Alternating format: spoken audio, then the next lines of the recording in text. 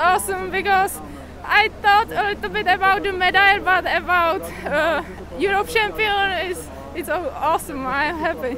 Uh, it wasn't bad. Uh, I was a little bit nervous before, but it wasn't bad. I pedaled quite good, no problem. Just at first, before first uh, gate, I had a little bit problem, so I, I tell uh, yourself it wouldn't be good, but it, it was good all, then, so it was good.